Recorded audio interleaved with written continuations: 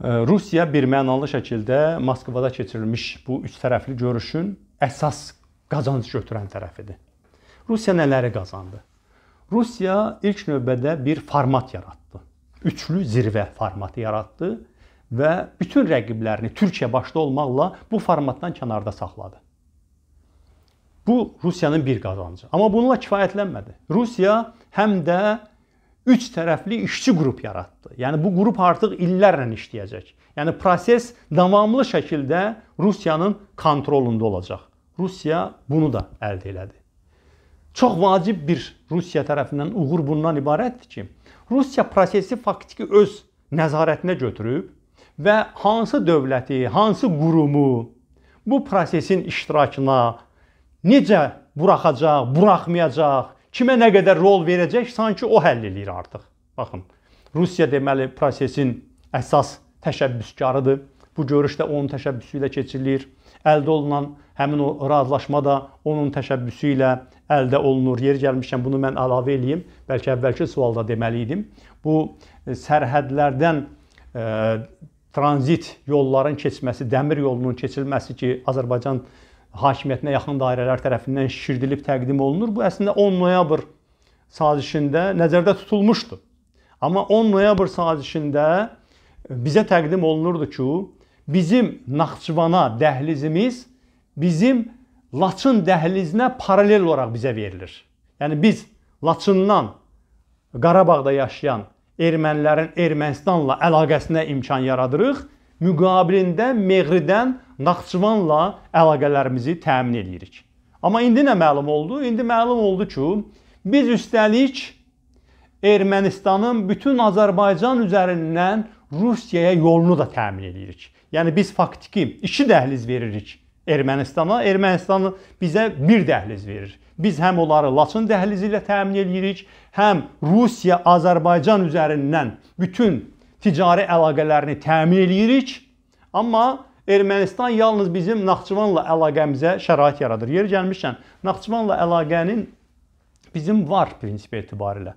İndi e, dəmir yolu əlaqəsi yoxdur, amma e, quru yolu ilə əlaqə İran üzərindən var. Çox böyük fərqi yoxdur ki, o yol İrandan asılı olsun, yoxsa Rusiyadan asılı olsun. Onsuz da bizim indi Meğridən keçən yolumuz da tam təhlükəsiz olmayacaq ki, hər zaman Rusiyadan asılı olacaq. E, Türkiyə üzərindən Naxçıvan xeyli dərəcədə əsas məsələlərdə blokadadan çıxarılıb. O cümlədən indi e, başqa kommunikasiyalarda çəkilə bilər ki, Türkiyə üzərindən bu da olsun. Yəni bu məsələdə əslində e, bizim qazancımız var, amma Rusiya və Ermənistanın bizdən də çoxdur qazancı. Və əslində bilirsiniz, bu e, müharibənin tamamilə doğrudan da başa çatması variantı üçün atılmalı addım idi. Yəni əgər Azərbaycan torpaqlarından erməni silahlı qüvvələri hamılıqla çıxmış olsaydı, onda məntiqli olardı ki, daha bizim onlara təzyiq eləməyə ehtiyacımız yoxdur. Qoy bütün yollar açılsın, deblokada olsun, hamı bir-biri ilə alver eləsin və s. Amma axı bizim torpaqlarımızda hələ 10 minin üzərində silahlı erməni var. Bizim Azərbaycanlılar Qarabağda gedib yaşaya bilmirlər. Bu məsələlər var. Deməli indi Rusiya əlavə olaraq nə əldə elədi?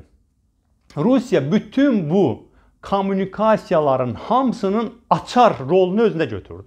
Kommunikasiyalar açılır, amma o kommunikasiyaların taleyi bir əldə cəmləşir. Rusiya istəsə kommunikasiyalar işləyəcək, Rusiya istəməsə işləməyəcək. Və beləliklə Rusiya Azərbaycan və Ermənistanın üzərində sanki bir yumşaq güc qazanmış oldu.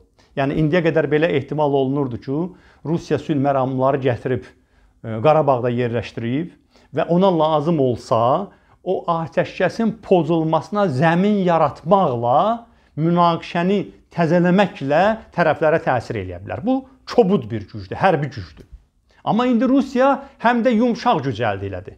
Təkcə Qarabağda atəşkəsin davamlı olub olmaması yox, həm də böyük vəsait bahasına tikiləcək yeni dəmir yollarının, şosse yollarının işləyib işləməməsi də Rusiyadan asılı olacaq.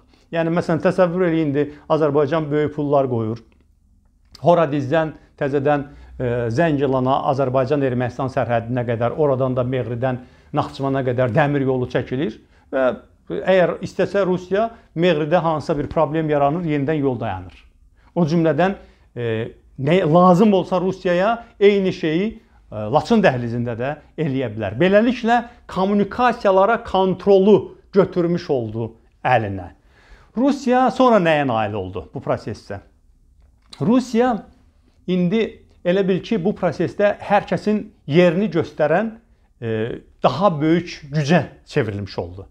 Üçüncü görüşdən əvvəl Fransa prezidenti Makronla danışdı Rusiya prezidenti. Görüşə qədər Türkiyə prezidenti Ərdoğanla danışıq olmamışdı. Amma görüşdən 2 gün sonra da Ərdoğanla danışıq oldu. Yəni sanki hərəkətlərlə mesaj verilir hamıya ki, bu prosesdə kimin rolunun nə qədər olacağını da bundan sonra Rusiya müəyyənləşdirmək iqtidarındadır. Rusiya sonra nə qazanır? Bəlkə də ən vacib səlahiyyətdir Rusiyanın ələ keçirdiyi 10 noyabrdakı üç tərəfli bəyanatı şərh eləmək səlahiyyətini Rusiya zəbt eləyib özünə. Yəni məsələn o bəyanatı üç tərəf imzalayıb. Azərbaycan tərəfi onu belə şərh eləyir ki, bəyanatın e, demək müvafiq bəndinə görə erməni silahlı qüvvələri Qarabağdan çıxmaqla Rusiya sülh məramları yerləşdirilməlidir. Yəni erməni silahlı qüvvələri burdan çıxmalıdır.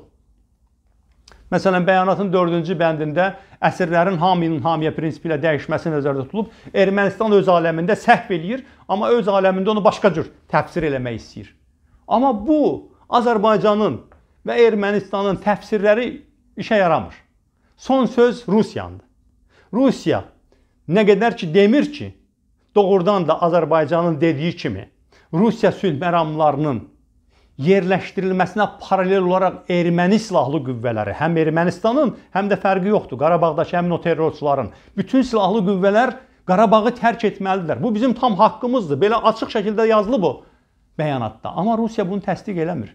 Və bununla da o bəyanatı şərh eləmək hüququnu özündə saxlayır. Bəyanatı şərh eləmək hüququnu özündə saxlamaq da nə deməkdir? Bu o deməkdir ki, Rusiya prosesə uzun müddətli nəzarəti öz əlində saxlanmış olur. İstəyəndə həmin bəyanatı Ermənistanın xeyrinə, istəyərsə Azərbaycanın xeyrinə şərh eləyə bilər. İstənilən mübahisədə bundan sonra da arbitr olmaq imkanını özündə saxlayır. Necə bundan istifadə eləyəcək?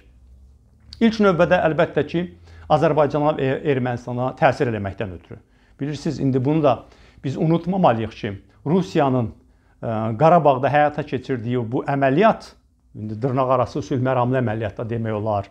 Orada ikinci erməni dövlətinin yaradılması əməliyyatı da demək olar. Rusiyaya xeyli pula başa gəlir. Rusiyanın çox ciddi maddi sıxıntıları var hal-hazırda. Xüsusilə 2020-ci il onlar üçün çox gərgin il olub. Ölkə iqtisadiyyatının vəziyyəti çox pisdir. Ölkənin iki nəhəng şirkəti Gazprom və Rosneft çox pis vəziyyətdədir. Amma buna baxmayaraq nə qədər pullar tökürlər Qarabağda o süni qondarma qurumu ayaqda saxlamaqdan ötürü. O cümlədən hərbi e, əməliyyatları aparmaq da xeyli pula başa gəlir. Bir gün o pulları bizdən çıxarmağa çalışacaq Rusiya.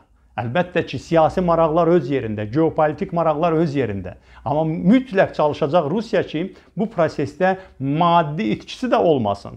Ermənistanın pulu yoxdur. Ona görə də biz ona hazır olmalıyıq ki, müxtəlif bəhanələrlə hansısa nə bilim bankrot olmuş, müflis olmuş bir zavodu yenidən bizə satmaq istəməklə ya da hansısa bir yollansa o pulu bizdən çıxarmağa çalışacaqlar. Rusiyanın çox ciddi geopolitik problemləri var. Xüsusilə Navalninin zəhərlənməsi cəhdindən sonra Avropa Birliyi də daha bir mənalı şəkildə sanksiyalara qoşulub Rusiyaya qarşı və Amerikanın yeni seçilmiş prezidenti Baydenlə Avropa Birliyinin arasında çox ciddi bir yaxşı münasibət olacağı da proqnozlaşdırılır. Bu da Rusiyaya təzyiqlərin artacağını göstərir. Rusiya əlində olan aktivləri özünə qarşı olan təzyiqlərin neytrallaşması üçün istifadə eləyəcək. Yəni o cümlədən indi o fürsətdən istifadə elədi ki, Avropanın da, Amerikanın da başı qarışıqdır.